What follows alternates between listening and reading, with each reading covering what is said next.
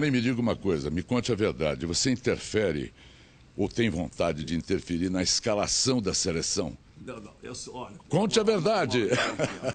Mauri, eu seria, além de, vamos dizer, seria uma atitude, vamos dizer, eh, uma atitude primeiro de intromissão.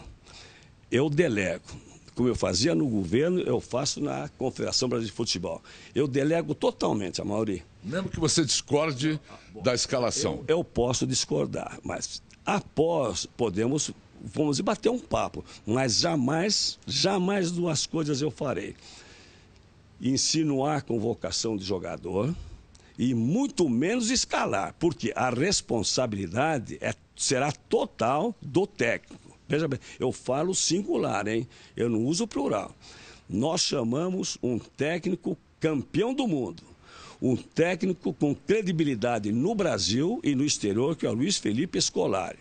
Como coordenador dessa seleção, nós chamamos o Parreira, que também é campeão do mundo. Então, eu posso garantir a você e garantir também ao povo brasileiro de que nós procuramos dar à seleção brasileira os melhores, com comprovada experiência, com a conquista de títulos.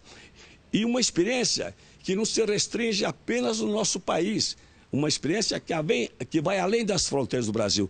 Tanto o Parreira como o Luiz Felipe Scolari treinaram equipes de fora e seleções estrangeiras. Então, são homens sobre de uma, sobre olha, experiência confirmada, porque muitas vezes a pessoa é experiente, mas nunca a experiência é vencedora. Com os dois, os dois são vencedores.